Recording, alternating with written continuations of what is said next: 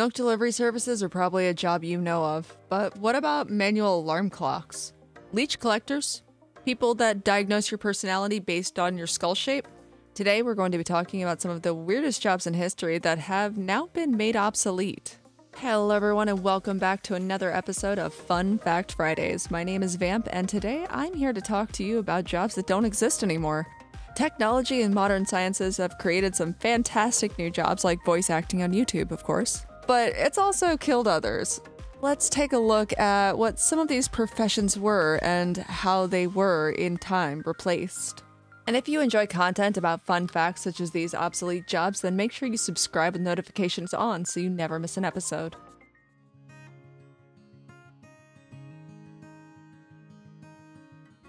We'll start with one you've probably heard of before the milkman. Milk delivery in the US began with industrialization.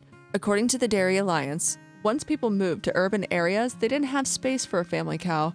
They would buy milk from local dairy farmers instead, and then the need for milk delivery began. The milkman wouldn't have individual glass or plastic containers, though, but just a massive metal barrel.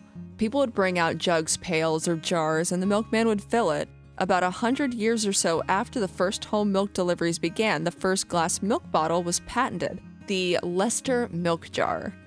A cap didn't arrive until about five years later when Henry D. Thatcher invented a different glass milk bottle.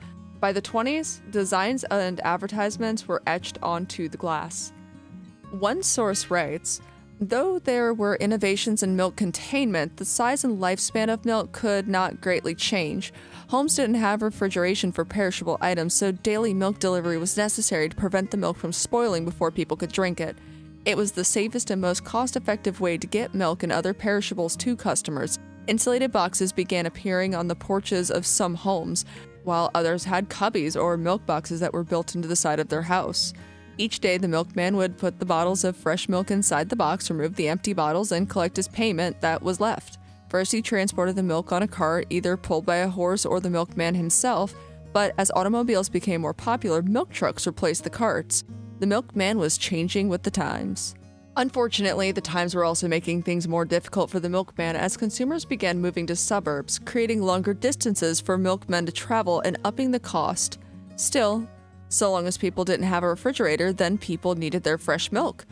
Of course, by the 30s and 40s, that changed too, with more and more Americans owning cars and large refrigerated cases becoming common. Buying milk became easy and deliveries soon became unnecessary.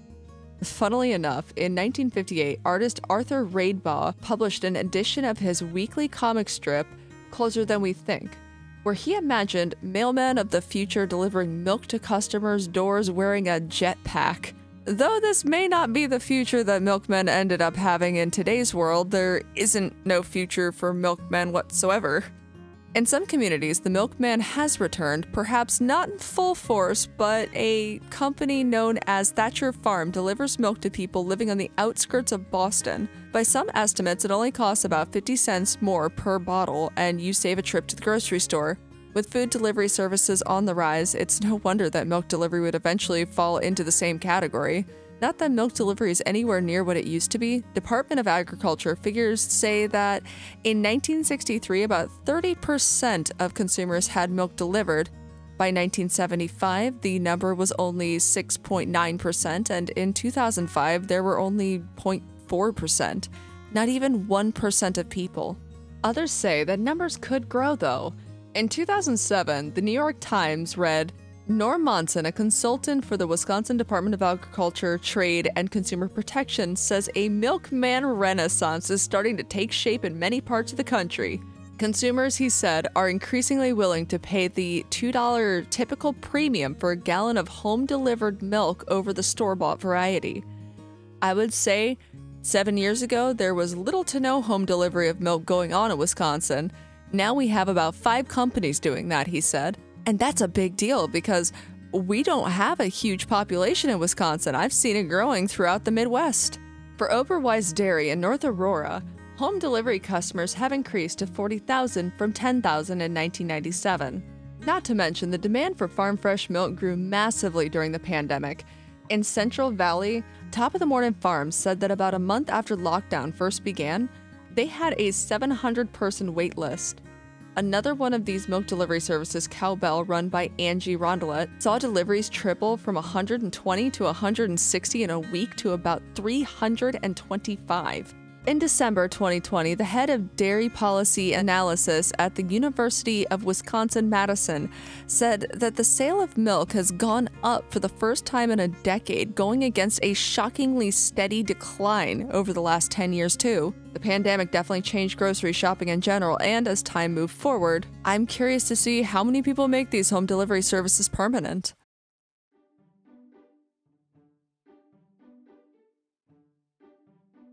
A knocker up or knocker upper was a manual alarm clock, though this begs the question who woke up the alarm clocks?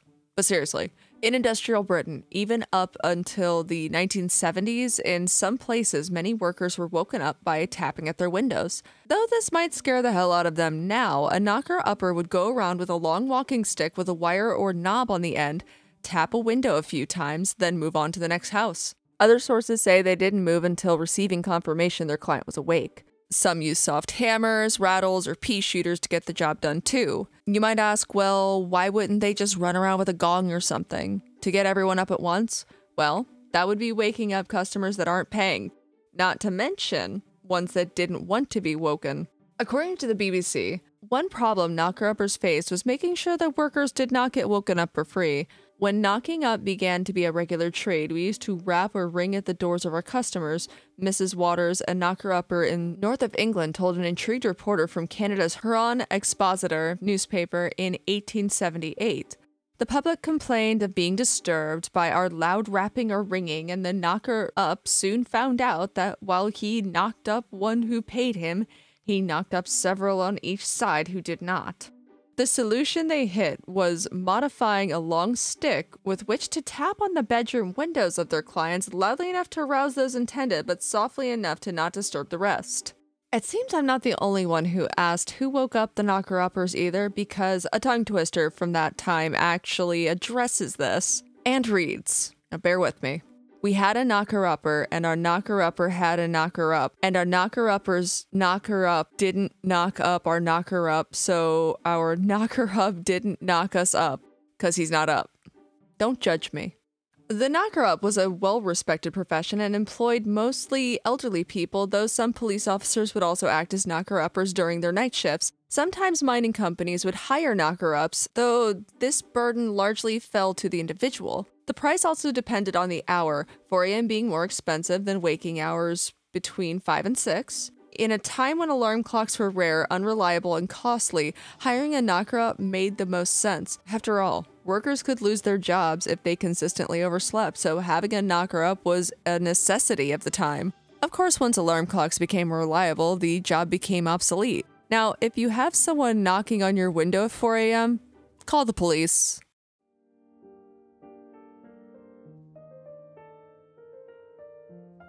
Another unique profession you've probably heard of in some capacity is a food taster. And no, I don't mean a food critic, but someone who was hired to be sure that food or drink wasn't poisoned by taking the first sip or bite in a meal to assure the person in the position of power that they aren't being poisoned. One such infamous story about food testing talks about Mark Antony, Cleopatra's husband. The story goes his foolish and childish fondness for Cleopatra was mingled with jealousy, suspicion, and distrust and he was so afraid that Cleopatra might secretly poison him that he would never take any food or wine without requiring that she would taste it before him.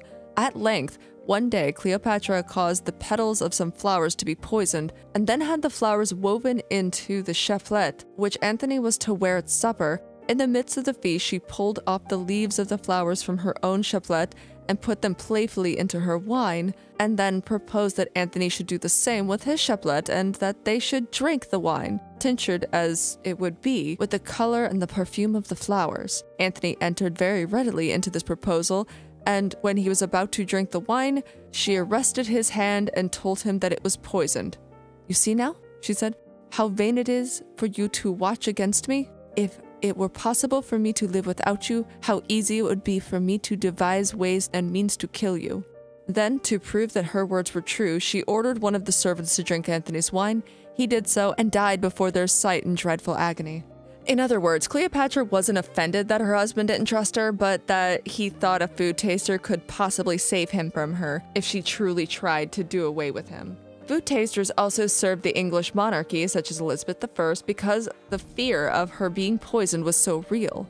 There was even an elaborate ritual and formal process to food tasting during her reign. First, all the plates were wiped off, and then 24 royal bodyguards would enter, one for each course to be tasted. Noblemen would receive each of the dishes, and a female food taster would serve each plate bearer a bite.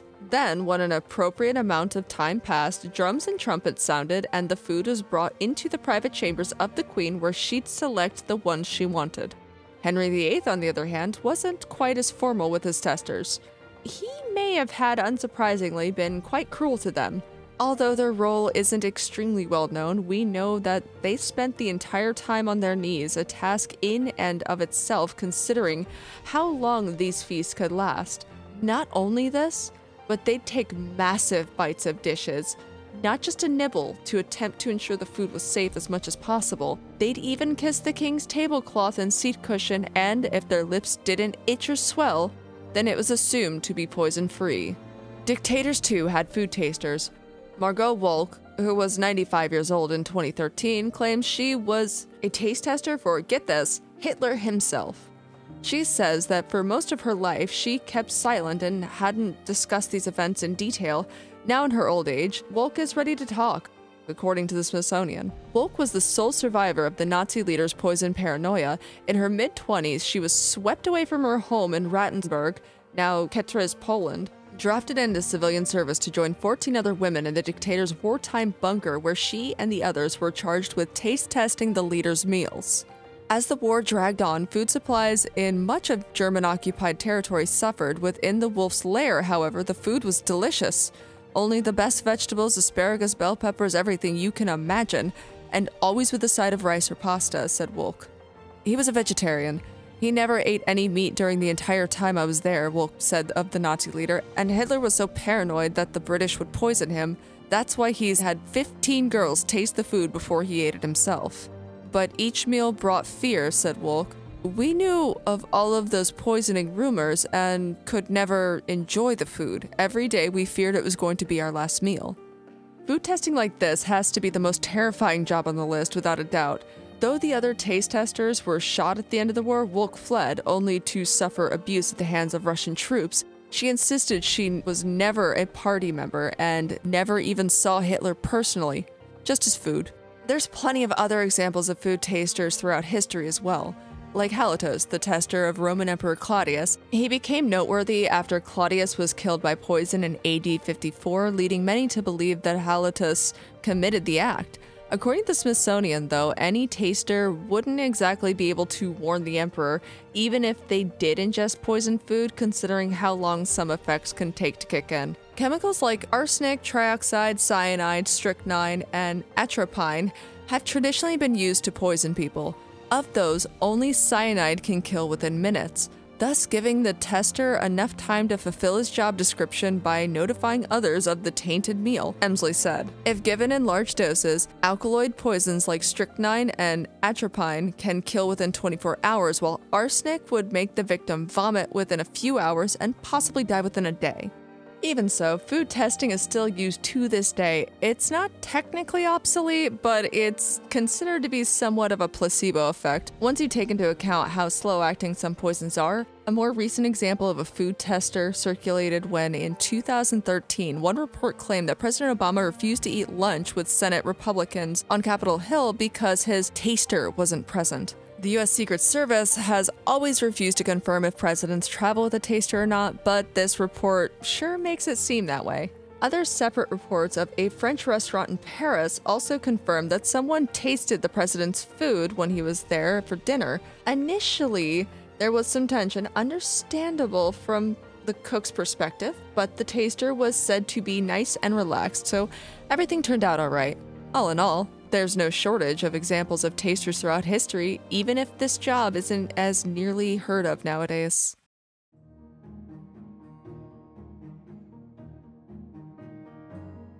Another non existent job is actually entirely based on faulty logic and science. Phrenology is the study of a person's head, quite literally. Phrenologists would examine protuberances on a skull, diagnose people with personality traits, and tell clients what career paths were suited for them and what they should look for in a partner based on their head shape, like a palm reader, but for your skull. As you can imagine, the science behind this practice has been discredited and is not really done anymore, but back in the late 1800s, it was incredibly widespread.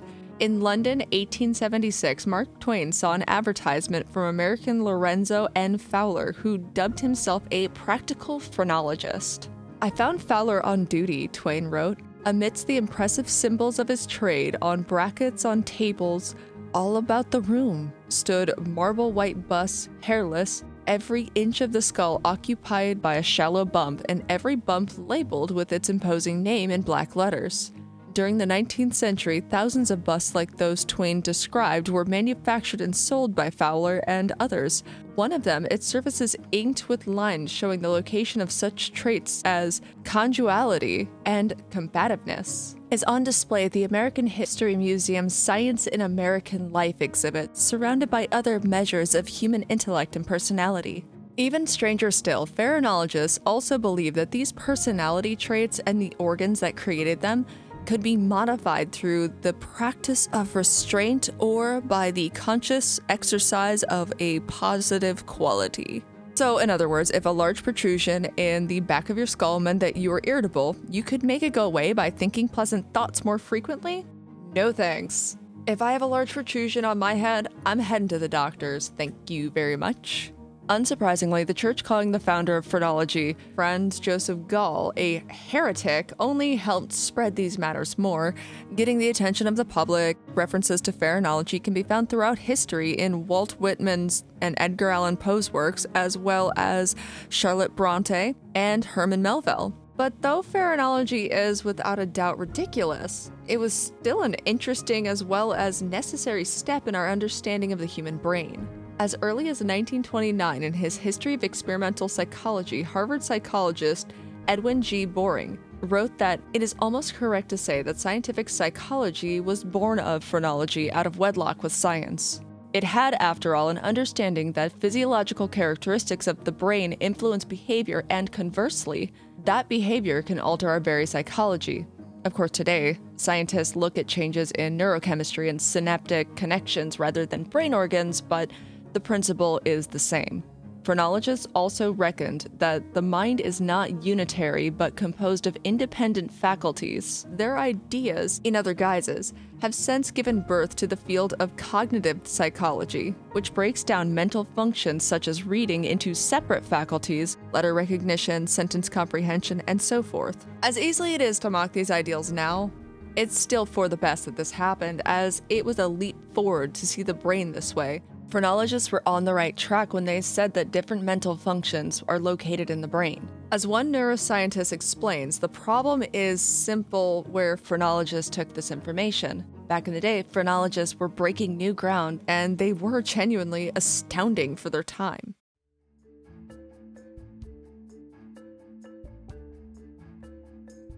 Another job relating to flawed logic and science is that of a leech collector. The practice of bloodletting originated thousands of years ago, likely in ancient Egypt before it spread to Greece. Physicians there, in 3rd century BC, believed all illnesses stemmed from an overabundance of blood. So a doctor would open a vein with a lance or a sharpened piece of wood, literally letting out blood. Sometimes leeches would perform this task. At every feeding, a leech can ingest about 5 to 10 milliliters of blood, about 10 times its own body weight. Dr. Francois Broussais a Parisian physician who lived from 1772 to 1838 greatly influenced the use of leeches because he claims all fevers were because of organ inflammation. He believed in placing leeches over the organ that was inflamed to treat said fever, and in part because of his advocacy, over 5 to 6 million leeches were used each year in Paris by the 1830s. As it turns out, we know now that Broussais isn't actually completely wrong. Leech saliva contains hirudin, a natural anticoagulant, so he did have some good points, even if they can't simply be used for everything under the sun either. Of course, someone had to gather up these leeches from lakes, bogs, marshes, and wherever else they could be found, hence the job of the leech collector. They'd lure leeches with animal legs, sometimes old horses, or their own legs, and gather up leeches to sell. Leech collectors often suffered from blood loss, as you can imagine, and infections spread by the leeches. Many leech collectors, according to the 1814 book The Costume of Yorkshire, were Scottish women. Unfortunately, there were even more downsides to the profession and the practice of bloodletting. Overharvesting was a problem, but so was the drainage and development of land for agriculture, which reduced leech habitat. By the end of the 18th century, medicinal leeches were nearly extinct in many countries, including Ireland, England, Wales, and the Netherlands. In response, countries began farming leeches and importing wild ones from places as far away as Russia, Hungary, and the Ottoman Empire. As wild populations dwindled, efforts to harvest local leeches grew more desperate. The scene captured by the Leech Finder an 1814 colored print of three leech collectors was in marked contrast to how leech collectors were shown just a few decades later. In a clipping from the French medical publication Gazette des Hôpitaux, its author describes a lonely, pale man collecting leeches, noting his woe-begotten aspect, his hollow eyes, his livid lips, his singular gestures. It would be understandable, the author adds, to take him for a maniac. English poet William Wordsworth captured a similar image of the vanishing leech collector. He told that to these waters he had come, to gather leeches, being old and poor, employment hazardous and wearisome. He had many hardships to endure, from pond to pond he roamed, from moor to moor, housing with God's good help, by choice or chance. And in this way he gained an honest maintenance. Although leech collecting was never a glamorous job, it most certainly got worse and became no longer viable, even long before the practice of bloodletting stopped. Instead, in later years, a medical leech kit was designated to become more appealing for the practice of bloodletting. Leeches seemed to make a resurgence in the 1830s when cholera spread across Europe and North America, but leeches proved to be no match, and their use suffered a long decline afterwards. Leeches are still used today from time to time. In 1985, leech therapy even made headlines when an American plastic surgeon named Joseph Upton used it to reattach a five year old's ear after it had been bitten off by a dog. By draining blood that's pooled, leeches can stimulate and encourage blood flow, so they are definitely handy little critters. In 2004, the FDA even approved their use for reconstructive and plastic surgery, according to NBC News at the time. The Food and Drug Administration said that Ricarimpex SAS, a French firm, is the first company to request and receive FDA clearance to market the blood sucking aquatic animals as medical devices. FDA reports that leeches can help skin grafts by removing blood pooled under the graft and restore blood circulation in blocked veins by removing pooled blood. In considering the Ricarimpex application, the FDA said it analyzed the use of leeches in medicine, evaluated safety data provided by the firm, and studied how the leeches are fed, their environment, and the who handle them. From manual alarm clocks to leech collecting to taste testing, there's plenty of jobs on here that I don't want to have. What would be your least favorite? Let me know in the comments down below. In the meantime, we'll see you again soon, and thanks for watching. If you want to see more content from me, you can check out my Twitch channel in the link down below, but remember to stay hydrated, guys. Take it easy.